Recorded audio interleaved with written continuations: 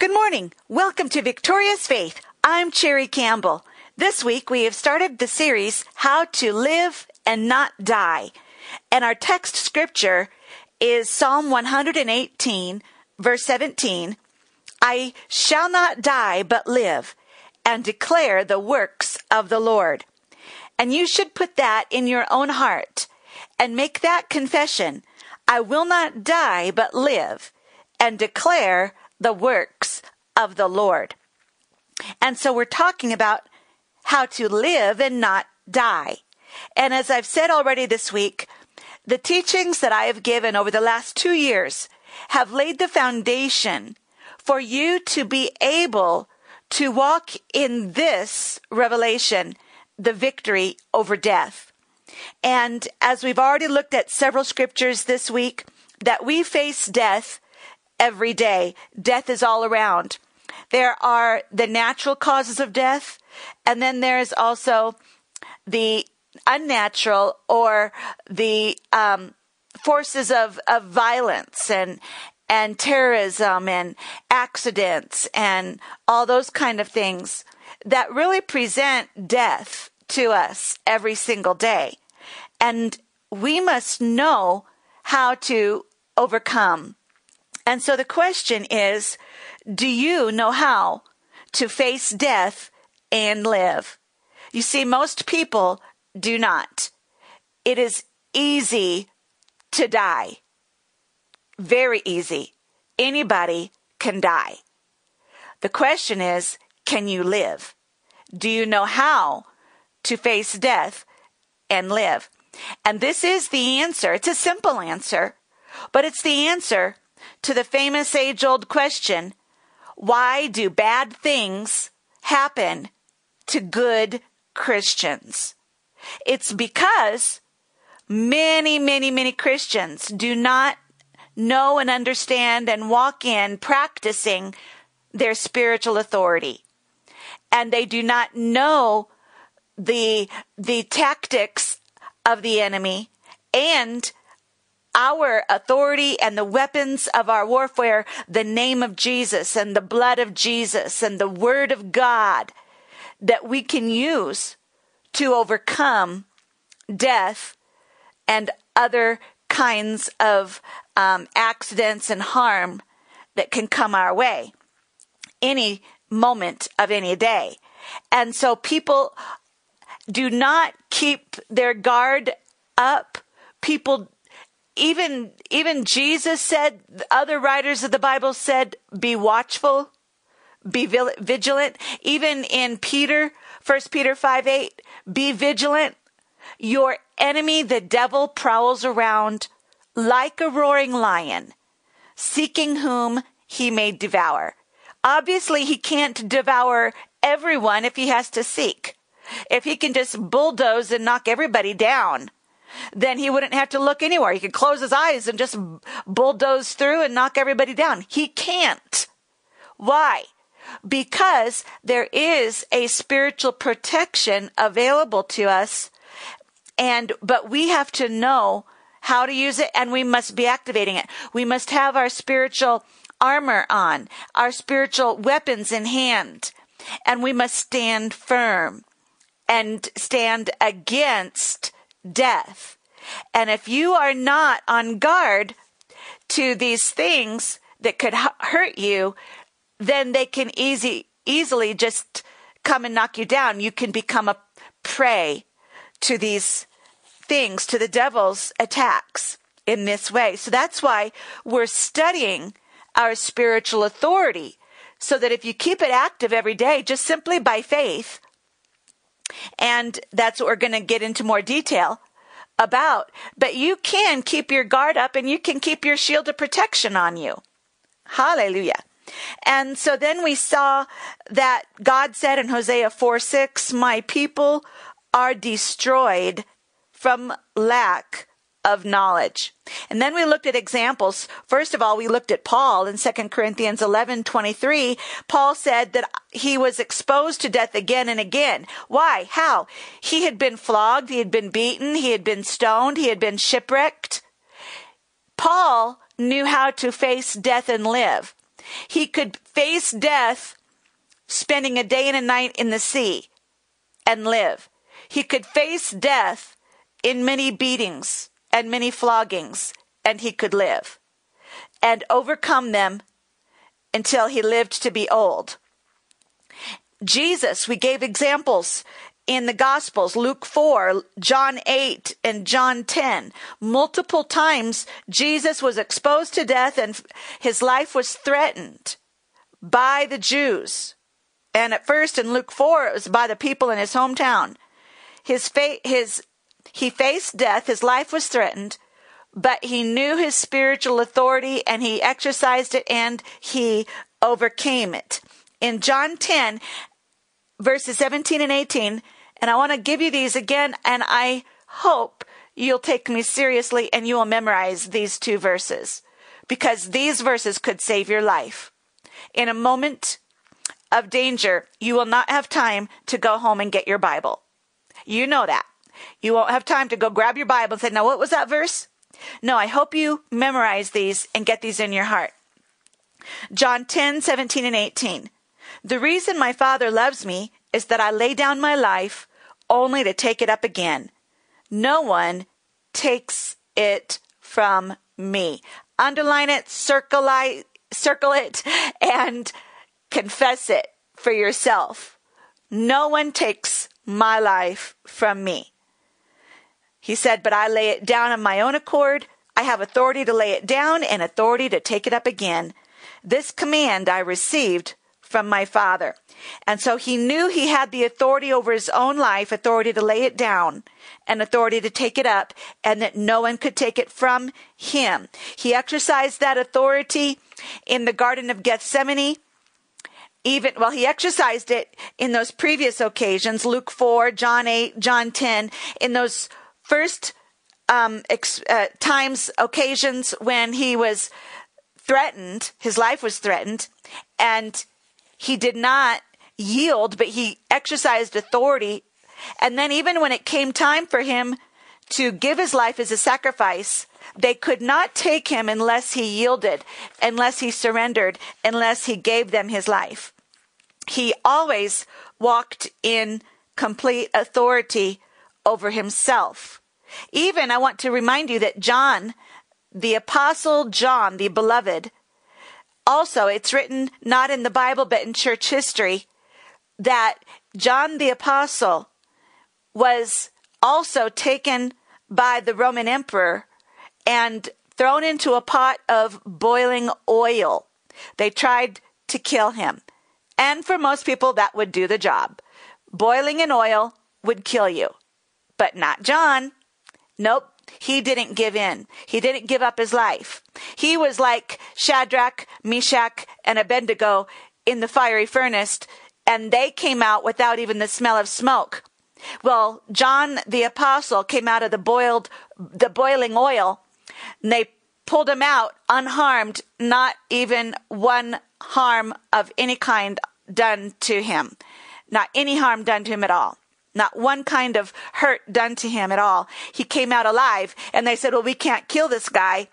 So let's just banish him to the Isle of Patmos. And that's when they sent him to the Isle of Patmos, where we have written for us the book of Revelation. He received the revelation from Jesus Christ. But he was there on Patmos because they couldn't kill him. They tried and they couldn't. Why? Because he exercised his spiritual authority. And so Jesus always exercised his authority. He stayed in authority over himself all the time. And you have the same authority. Luke 10 19, Jesus said, I have given you authority to trample on snakes and scorpions and to overcome all the power of the enemy. Nothing will harm you. To overcome all. All means all, and it includes death. All the power of the enemy. So, take note of this. If you're taking notes, write this down. In every situation, you are in authority over yourself. Maybe not everybody else around you, but over yourself as long as you exercise it. It could be that everybody else around you dies, but you don't have to die. You are in every situation, you are in authority over yourself. Remember the circles of jurisdiction, the circles of authority, the concentric circles of authority that we've talked about in the previous lessons that you are that central circle. You have 100% authority over you. And I'm not going to repeat all that teaching we gave for six months. But you have authority over you more than anybody else, including God. That's why God doesn't make you get saved. You have a free will to choose Him or not, to obey or rebel. And you have total authority over your mind to think what you want to think, over your mouth to say what you want to say, and over your body to do what you want to do. God doesn't control you. He doesn't possess you. If you ever say, God, just control me and don't let me do that, it'll never happen. Now, Satan wants to possess you. And if you give yourself fully to Satan, he will possess your, even your body and your mind.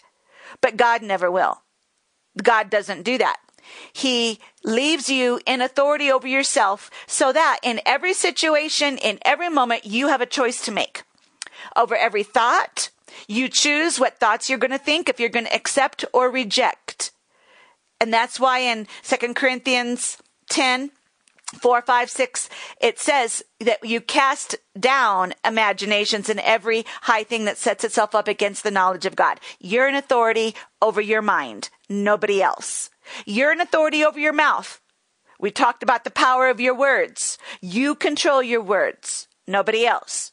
And you're an authority over your body, over your life, over what happens to you. You have authority. Nobody else does more than you. You are in 100% authority. That means when anybody comes against you to try to steal your life, any terrorist, any act of violence, any gunman, yes, gunmen. And that's another problem that's in America. Not just terrorists, but gunmen who just go crazy. You have authority over that. And I've heard testimony after testimony, true stories of people who had a gun pointed at their face. And the guy behind the gun was ready to pull the trigger. And the person knew their spiritual authority and they said, No, in the name of Jesus, you cannot harm me. I don't know what all words they said. They said different things in different occasions. Different people said it different ways. But they said, No, you can't hurt me. I take authority over that gun. And those gunmen, story after story after story, there were times when they tried to pull the trigger. I've heard it where they tried as best they could to pull that trigger and they couldn't. It wouldn't work. The trigger wouldn't work. They thought, what's wrong with my gun? And they pointed it off in another direction up in the air and it fired. And they put it back in the face of the person they were trying to kill and it would not fire. It would not fire because that person took authority over it. And this, I, I, I remember hearing a story about a mother doing this over her children when her children had gone on a trip somewhere and the mother had a warning from God to pray for their protection. She did not know that they were having a gun put in their face, but she was praying for them. And these were children, and so she prayed for their protection, and they were saved and delivered from a gunman who tried to kill them. So you do have authority, and we're going to get into this more about how. We're going to get more into principles in the next few broadcasts. But I'm wanting you to see this and make this statement written down and blazoned in your heart. In every situation, you are in authority over yourself. You may or may not be able to affect other people. That has a lot of different conditions involved. But you do have authority over yourself and what happens to you as long as you exercise your spiritual authority. And you can, as we're going to talk about how to do it, you can put up your protection shield and take authority in any situation. And you can keep your life instead of dying. You can stay protected instead of being hurt. Hallelujah. And so you must know that Jesus had that authority and he gave you his authority also. And we talked about how Jesus gave up his spirit and then how Jesus overcame death. And in Revelation 118, Jesus said, I hold the keys of death and hell. Or as modern translations or some other translations, death and Hades. Hades is hell. Satan does not hold the keys. Jesus does. Jesus is your Lord and he gave you the authority. He's holding the keys over death and he gives you authority to walk in his authority. That's more evidence that you have authority to rule over death because Jesus has the, the keys to death. He won the victory. Glory to God. Hallelujah. And re- remember Romans 8 2. For the law of the Spirit of life in Christ Jesus has set me free from the law of sin and what? Death. You see, what I'm trying to do is renew your thinking because most people think that death is an enemy that is more powerful than us. That death, whenever it comes, it just can smash you like a bug. That death is bigger than you. It isn't. You are bigger than death. If you're born again, of course, you have to be a born again Christian because if you're not a born again Christian, then you, the spirit of life in Christ Jesus is not in you. You have not been redeemed from the curse and the law of sin and death. That's the number one thing right there. You need to get saved if you're not. So if you're listening to me right now and you've never been born again, just say this prayer real quickly. Father God, I thank you that you sent Jesus Christ, your son, to die on the cross for me and for my sins. I receive him now into my heart and life to be my Savior and Lord. I ask you to forgive me of all my sins, and I thank you for saving me now, today, in Jesus' name. Amen. And if you say that prayer or anything similar to that, confessing Jesus as your Lord, asking Him into your heart, be your Lord and Savior, you are born again. You are a child of God. Jesus overcame death and he gave you the authority to overcome death. And so this is just a mindset that I'm trying to change your paradigm, your your mindset that most people think death is invincible. It isn't. It isn't. You are invincible to a degree, most in most uh, everything when you walk in the laws of the spirit, the laws of the kingdom, I should say, the spiritual laws. And when you exercise your authority, you can overcome death. Death is not something that is greater and more powerful than you. You have authority over death. Death can be under your feet as well as under Jesus because Romans 8 2, for the law of the Spirit of life in Christ Jesus has set me free from the law of sin and death. You're set free from the law of death. It has no more authority over you legally. it is only because people have lack of knowledge, they do not exercise their authority over death. And therefore, they succumb to death when they face it. Now, I want to just show you one more thing. I'm trying to help you to see God wants you to live a long, full, blessed life. God does not want your life cut short by accident, by sickness, by tragedy, whatever, anything. God wants you to live a long, full, blessed life. And that's where I've said, why do bad things happen to good people, good Christians?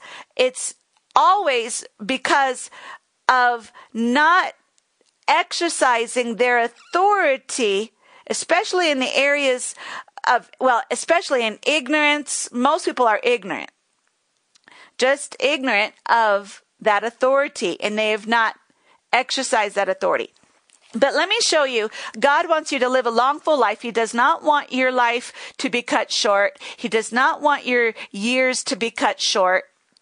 In Genesis chapter 6, verse 3, Genesis 6 3.